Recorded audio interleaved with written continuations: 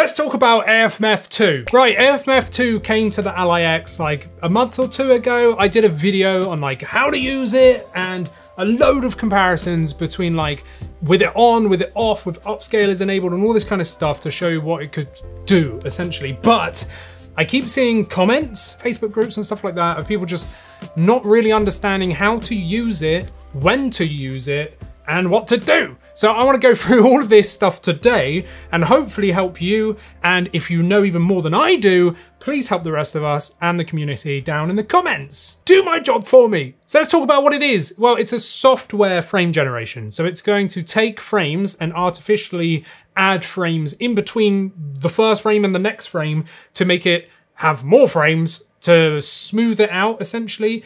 But because this is a software side, not a like a hardware based or even a software based one implemented by developers, it's going to be running like over the game. So what you need to do is make sure that you're only using this if the game doesn't already have built-in frame generation. So let's take Spider-Man Miles Morales, just because I've played that recently and I know that has AMD frame generation built into the game. So the devs have gone, this works, made it work, right? So you don't you don't need AFMF2 for those games, right? If you go to the settings and there is frame generation there, like AMD frame generation, for example, you don't need to use AFMF2. AFMF2 is purely for games that don't support it. That's why in my tutorial video I used Resident Evil 4 Remake because there is no like native, if you will, frame generation inside that. So we were using AFMF2 to, to help us out and give us some extra performance. So rule of thumb is no frame gen in the game, then use AFMF2. But what if the game's got frame gen already? Can't we put frame gen on top of frame gen? Well, you could, but you're going to introduce a load of latency and a load of visual artifacts, so don't do it. It's just a no-no. Just, just don't do it. Other things I see pop up is, well, AFMF2 is not working in my game. Why, why is it why is it not working in my game? Like it seems to work for everyone else. What about this game? What about that game? Well, AMD have actually disabled it from working in certain games that they know it's going to not work well with. Example, Forza Horizon 5, is it? Or 4? One of those. They've just disabled it from working if you're playing that game. What about game settings? Well, in terms of game settings, the only thing you really need to do is either have it in full screen, which is how I play, or borderless full screen. That is what AMD recommend for AFMF2 to work. And also disable VSync. And whilst we're talking about game settings, this is not magic, okay? So you're not going to be able to take a game running at 15 FPS and make it run at 30 FPS and actually be decently playable. You need to have a stable base rate first, right? So when this first came out, everyone was saying like, oh, well, it's not very good. And it's like, well, you need to have a solid foundation first, right? So they, they recommend like 45 FPS. You can easily use it on 30 FPS titles to get it to 60, but just still feels like 30 FPS. So the kind of rule of thumb here from my testing is that whatever the number says from AFMF2's frame generation, it's actually still playing or feeling like the the base raw output of frames, right? So if you're playing at 30 F FPS, it's still going to feel like 30 FPS. It's just going to look smoother. That's the only way I can really describe it. So getting a stable 45 FPS first is like ideal, right? If you could get uh, the game to 60 FPS first, then even better. Whether that's, you know, dropping the resolution down to 720p on some games, you know, or maybe dropping the settings down so you're playing on medium or low and 720p, something like that. Get a stable base rate first. You don't want a major like fluctuation going from 15 FPS to 50 because it's going to be choppy. You want a real nice stable like 45, let's say, and that will take it up to let's say 90 FPS and then it's going to feel and look really good because it will feel like 40 F 45 FPS, but it will look like 90 FPS. Now, one thing I really like about AFMF2 is the reduction in latency. 10 to 30% less latency than AFMF1, which I personally didn't like. I found AFMF1 was just too there's too much latency you could feel it you could see it like it was horrible you press a button you had to wait for it to like happen right it wasn't very nice whereas with afmf2 it's much better now We'll talk about the overlay in a minute, but once you've set the overlay up correctly, it actually tells you in milliseconds the latency.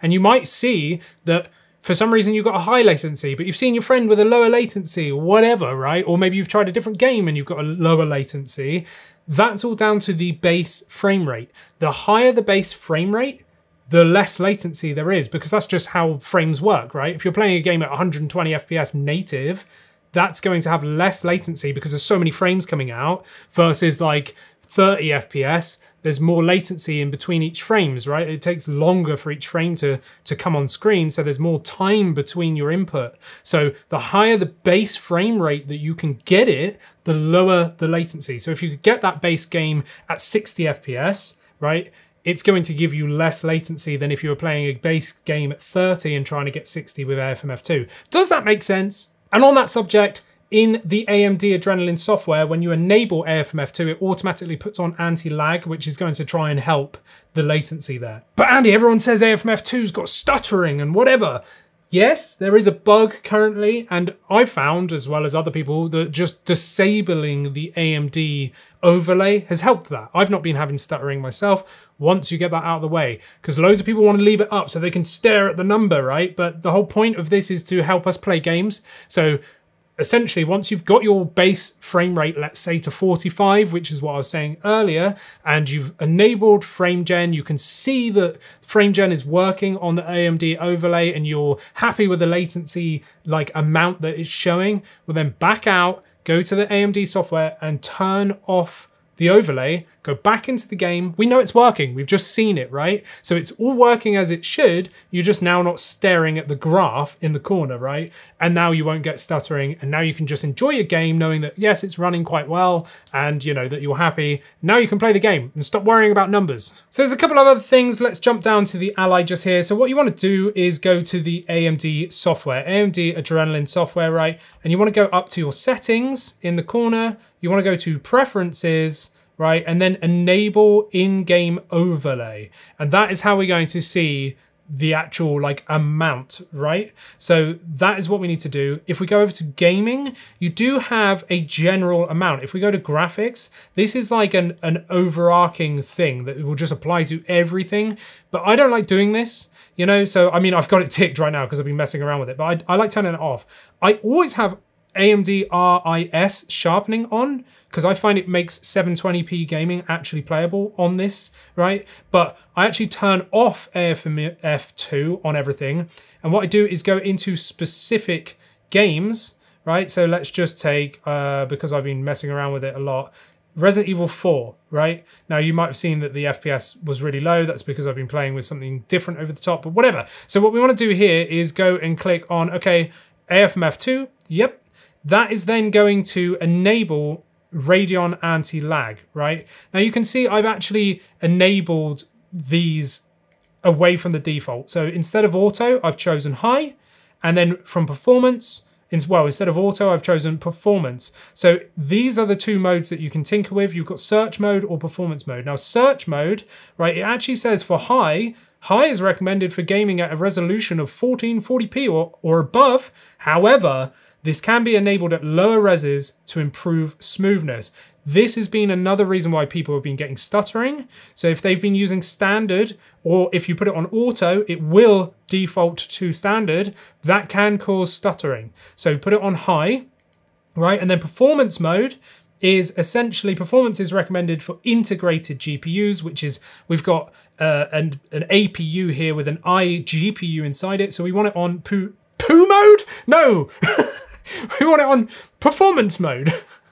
We're not enabling switch mode, don't worry. Okay, uh, so uh, anti-lag is going to reduce input lag, so it's going to help with the latency. I always have RIS on. So now I've made it so Resident Evil 4 always has this, right? When I launch Resident Evil 4, it's going to have this up. Now, if I go to performance, over here, I can click on overlay and enable metrics overlay, enable game detection for metrics, right? And this is going to show me my actual upscaled FPS, right? Now, what you can do is also go into Armoury Crate and do it this way, but I've still not found it actually works. So I, I don't, I don't know. Like Asus are like, oh, you know, have a AMD Adrenalin running in the background, which mine always is. Mine's like on at launch, right, at startup, but this just doesn't seem to work. But basically, if you take Resident Evil 4 example here, press X, go to set game profile, and go down to GPU settings,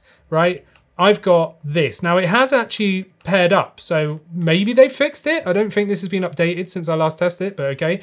But you can select, you know, upscaling there or AFMF, and obviously you want one or the other really. So you've got AFMF 2 on with Radeon anti-lag on, and I've also got RIS enabled here. So here it is actually working. You can do it per game this way as well but I would definitely do it in the Adrenalin software. Then this should, should just update to reflect that.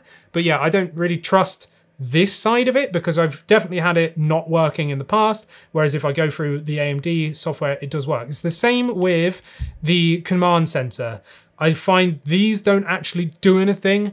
Even when I've got AMD software running in the background, they, they might say like, yeah, it's on. But if I turn it off here, it definitely doesn't even turn it off. Even with RIS, it used to. Like when when the Ally first came out, these used to work. I don't know why they're, they're not working for me now. So if you know a fix, let me know down in the comments. I'd love to know because this would be really handy. But the feature's there, it just doesn't work for me. Talking about features, Asus did a uh, like a, an update recently, right? And they've made it so that you can use their overlay. So if we go up to the top, I've got real-time monitor off, right? And obviously we can enable that to minimum or maximum or whatever. Let's just back out to so, so you can see it just here. Previously, if you were using AFMF2 or 1, right, and you loaded a game, this used to throw up an error. So like I'd see it mainly online with people having this like um, like overlay up and it would have a little exclamation mark with AFMF like on it and it wouldn't show the FPS. And people were like, oh, what's happening? It's because the overlay didn't support it. Asus have now enabled support. And whilst they say like, yeah, you can see it in our monitor, it only shows you the base frame rate. It doesn't show you the AFMF2 frame generation frame rate, right? So you won't actually see the true number there. Or, or maybe that's the other way around. Maybe you see the true number because that's the real amount of frames, but you don't see the fake frames added on top, right? But yeah, that, that is basically all my tips for, for how to use this correctly. Go back and watch through the video if you're having an issue and check out my previous video where I actually go through and I test in-game what it's doing, how it's working, my thoughts on how it's feeling and everything else.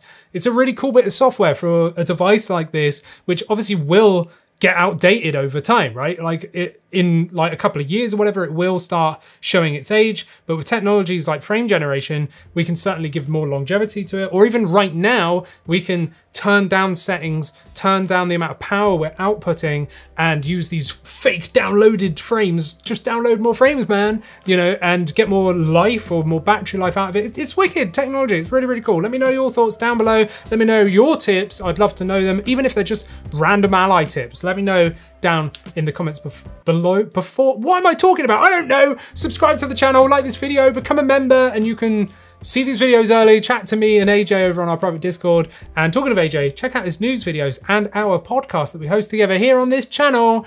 And I'll see you in the next one. Bye.